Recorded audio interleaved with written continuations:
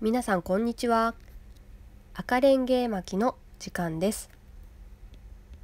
今日は平安時代末期に東北地方の平泉にピッカピカの黄金文化を築いた奥州藤原氏についてお話をしたいと思います。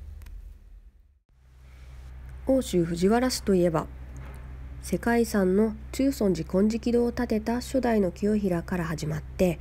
浄土庭園の毛通寺を建てた2代目の元平に続き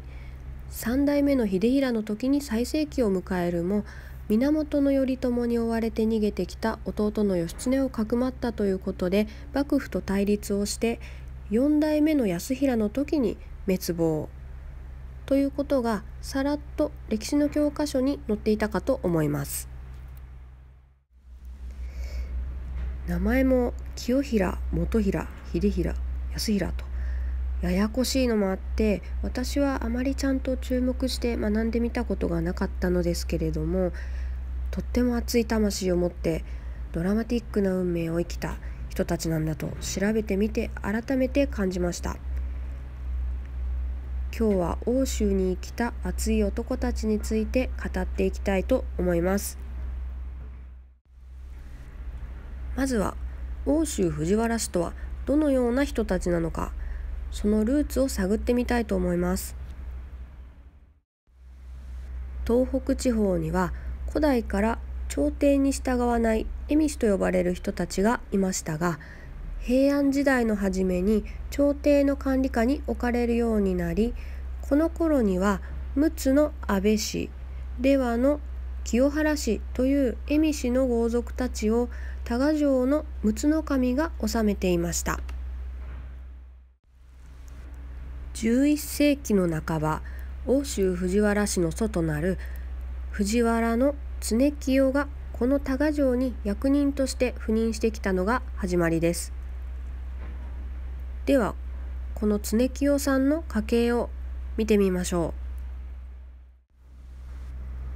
常清さんは後に奥州藤原氏の初代になる清平のお父さんにあたります。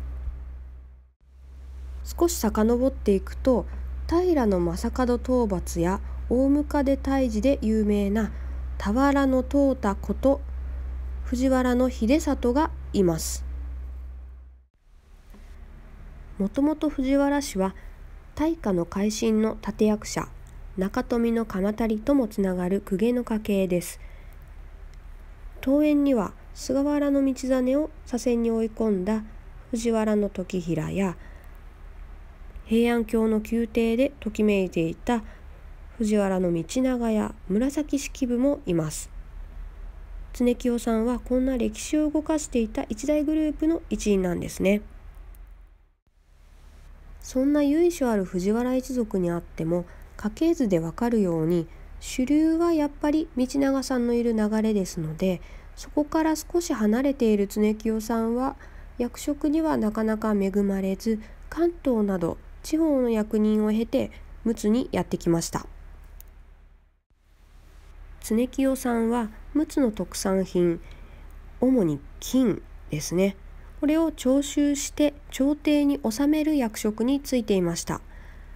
そこで陸奥の蝦夷の人たちが重い税に苦しんでいる姿を見ていくわけですね。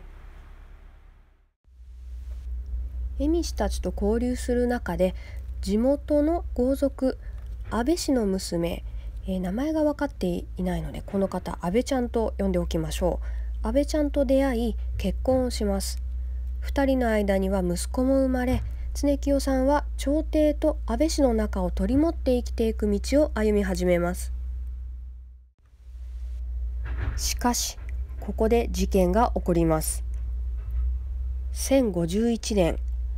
安倍氏の棟梁安倍の貞党が挙兵。ちなみにこの貞党さんは常清さんの義理のお兄さんにあたる方です。貞党は多賀城にドドドドーと進行しまして、えー、すごい勢いで陸奥の神を破ってしまいます。朝廷は新たな陸奥の神として源頼義を多賀城に派遣します。安倍の貞藤対源頼義の戦い。これが全9年の駅の始まり。この戦いはしばらく続くことになります。常清さん悩みます。政府の役人として朝廷に就くか奥さんの一族安倍氏に就くのか。悩んだ末常清さんは役人として朝廷と共に戦うことを決意しました。これは本当に辛い選択だったんだろうなと思うんですけれども皆さんだったらどちらを選ぶでしょうか？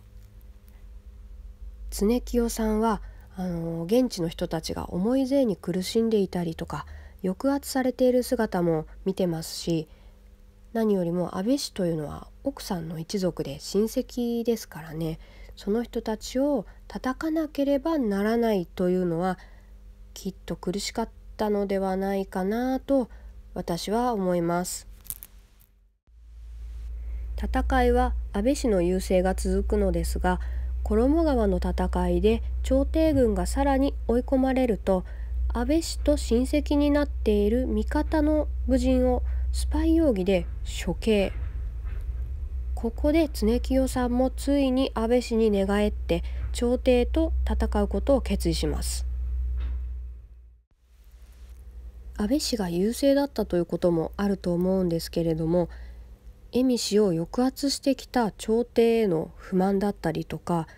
恵美氏と親戚だからといって味方を殺す源頼義への不信とか今までのいろんな不満も溜まっていたのではないかなと思います。常清さんと安倍氏の連合軍は勢いを増して勝利を続けていきます。その戦いの裏で密かに源頼義も動いていました。頼義は出羽の清原氏に賄賂を送り続けついに清原氏1万の兵が朝廷軍に加わるとあっという間に形勢は逆転。安倍氏は敗れてしまいます。鬼をもって鬼を制する。いつの時代も祭ろわぬ民は